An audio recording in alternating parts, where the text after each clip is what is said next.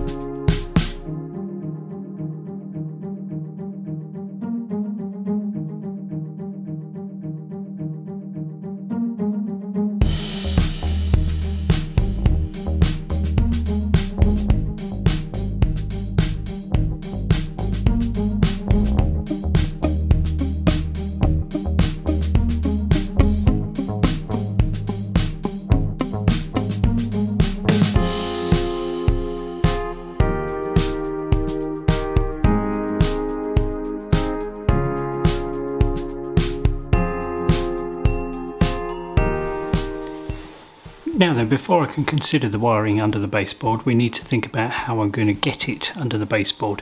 And what I've chosen to do is use a little fret of um, rail droppers and these are sold by Palatine models. And what I'm doing here is just tinning the strip on the on one side of them. Now you'll see these things they come as a fret. And the next thing I'm going to do is to chop these into single elements Now, I think it's quite commonplace to solder your wires directly to the underside of the rails, but in, in this case I wanted um, I wanted my connections to be repairable. And the wonderful thing about these little rail droppers is they solder to the underside of the rail and the, the, sort of the donut shape that you could see on them ends up sitting on top of the baseboard just to one side of the sleepers and the great thing about that is you can bring your wire up from underneath. It can be soldered on top of the baseboard. And if a problem develops at a later date you can unsolder it and remove the wire and replace it. Now you'll see when we get to the end of this sequence that these end up sort of these will be buried in the ballast. So you won't see them but I shall keep a record of where each of them are so they will be easy to sort of dig up if I need to. Now what I'm doing here is just tinning the underside of the rail and what you can't see here is my left arm is wrapped around the camera tripod and I'm sort of craning my head around the camera. Um, and what I didn't notice at the point of filming this was that I just didn't get the rail hot enough. Um, you see me come back here and have a try to repair the job but basically I didn't get the rail hot enough there. That solder should have flown flowed uh, much more easily. So here I've got the the little etched nickel silver Palatine model rail dropper and I'm just bending one end of it. Now this is again really fiddly. I'm again I'm working around the camera. I should have I don't know filmed this differently. This was another exercise in dexterity and I found a better way of doing this actually um, after I'd done this job. And you can sort of see some of the problems I think I come up with a solution here. Yeah there we go. We put the soldering iron stand on there and that stopped the track from moving about. But again my left arm is wrapped around a camera tripod and I'm sort of peering over the camera and looking in the viewfinder. Um, it's not really the, the right way of doing it. Anyway I've left this clip in because it shows quite clearly how these little sort of etched pieces stick out from the sides of the track. Um, and you can if this was something that was of interest to you you could probably um, imagine yourself doing it from this from this clip like I say I actually found a better way of doing it and I think my preferred method is now to solder the dropper wire onto the donut and then hold the thing with the dropper wire and it makes the whole job much easier. But anyway, they've attached quite nicely. They're not going to fall off in a breeze. So at this point, the track has been offered up and hopefully you can just see the little fret there. And I'm just marking the position of the rail droppers with a pen.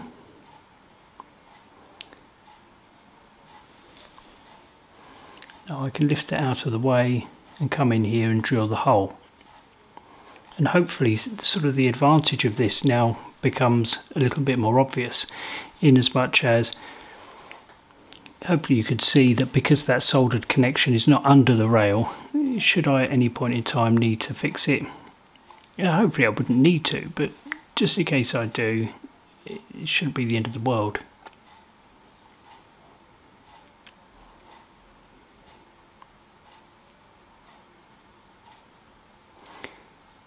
There we go, that's the holes drilled.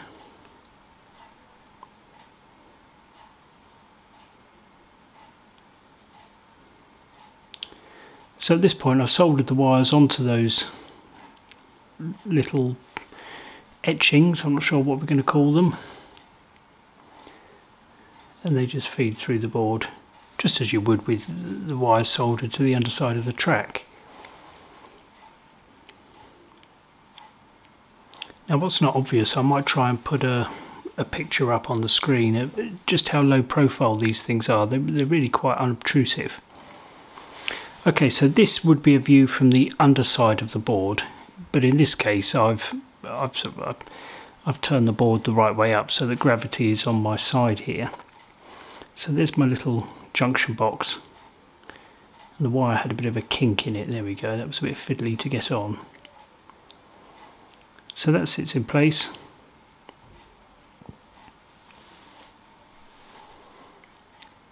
And on, the, on this particular box, and there is a second one, we'll come to that in a bit, this particular box just held on with one screw. Now I mentioned these solderless connectors.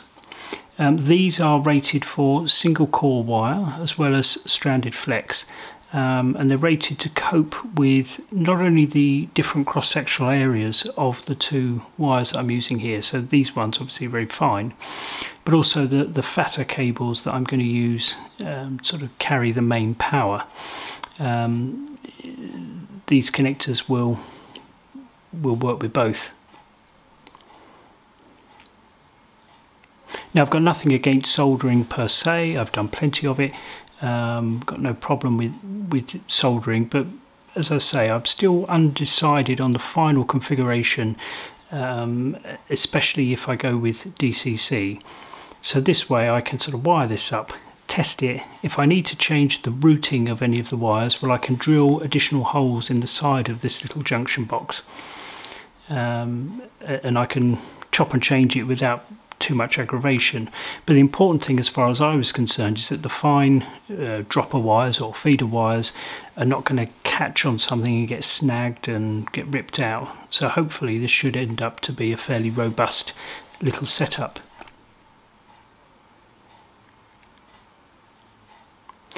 Now the cover plate will go on and I'm undecided, this might end up being a piece of clear acrylic. I didn't have any clear acrylic, but you should see there's a hole in there and the, sort of the legend track active when lit. So I've designed a little printed circuit board that will also fit in that cavity um, and will illuminate an LED uh, just to show the track powers on. Um, and it should also show the phase of it's got a bicolor LED in and it will show the phase of the track wiring. So on DCC um, it will you know if I look underneath and they're all green or they're all red or whatever I, will know that each little junction box has been wired up correctly. Now I mentioned that there were two of these and, and this is the second junction box. And really it was the design of this junction box that sort of stopped me from just going out and buying some junction boxes. I know the invention of the junction box is certainly not original, but this was the second idea. And you'll see that this one's got three sets of connectors. There are two screw holes and three dropper wire holes and hopefully it's not rocket science these will be used for turnouts. So the main track wires will come in here and here but the feeder to the uh, the the V or the, the frog will will come in to the center terminal block. Now the idea here excuse me the idea here is that we can um, I can take so obviously three wires in, three wires out.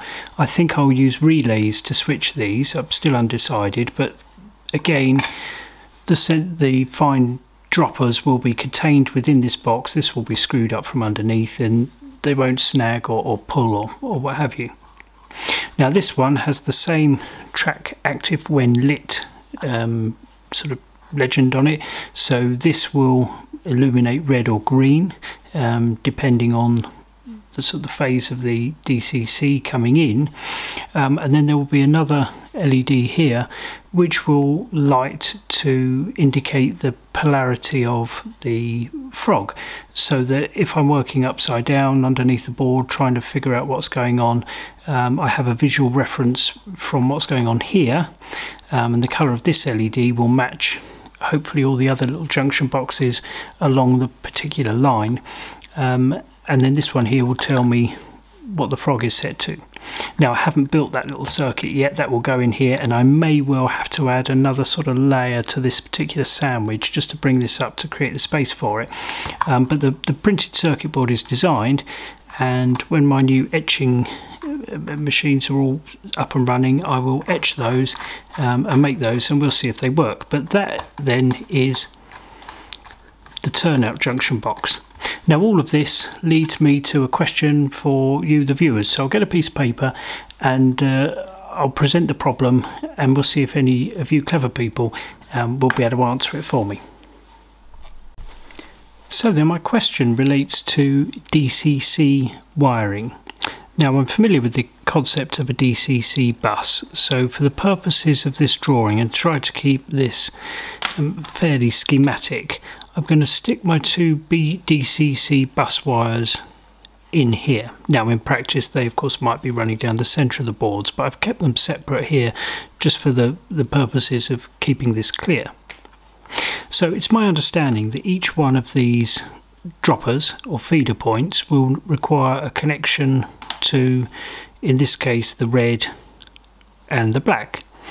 And so each of these will be red, something like this. I won't put all of them on, I think you get the idea. And each one will have a, a sort of black connection. The colours, of course, could be could be anything, but uh, in fact, I think red and black is in some ways uh, um, misleading for a, an AC setup. But anyway, there we go. So DCC traditional setup. There's the bus wires and there's the connections to each of the the feeders. Now that makes perfect sense to me, and I've simplified it here. But I understand that. My concern is that when I've put the feeders into all of the, the bits, this is could potentially become a mess. Hence my desire to sort of create the junction boxes and, and try to tidy it up. Um, but I have a question as an alternative way that I think I would prefer to do this, but I don't know if there's some reason why it wouldn't work. So I thought what I'd do is is ask you because there will be people watching, I'm sure, who will have a, a perfect understanding. So what I've got here is the same thing. The green boxes represent the two baseboards that I'm working on. And what I wondered was, would it be possible to connect, I'm going to use the same colours to sort of keep this consistent, connect all of my reds together, perhaps something like this, and then all the blacks down and daisy chain across and so effectively do that for each of these lines that are running down. And again I won't do this for all of the lines but you hopefully you get the idea. So we'll have red and black. So these things are I guess kind of wired in parallel I suppose you might say. Um, and then my my thinking was could these then be bought to uh, a bus connection here so that effectively these are long feeders off of sort of a central bus. My idea was that this could be a power district and then the next section on would be another power district and then perhaps the goods yard would be another power district. Um, but I'm not sure. So if anybody knows in the comments, if you could sort of let me know if I'm on the right lines here, just say no, version two's no good. It's, it's got to be version one. That's the way to do it, and and it's fine if that is the way to do it. That's that's fine. Um, but I think this would make for a neater installation if this would work. So over to you. If you've got some great ideas, do please let me know. Of course, it's all pretty academic because um, none of this was being built to to actually work. And I think my preference would be for radio control anyway. I think that's that's got to be the way to go these days. But anyway, given that sort of DCC or and DC even seems to be the way these trains run, I think I ought to incorporate it. Um, so if you know which which of these two methods would work, I'd be delighted to hear from you. So that's it from me for this time. Next week we're going to be looking at the platforms um, and hopefully you'll be able to join me for that. Thanks for watching. Cheerio.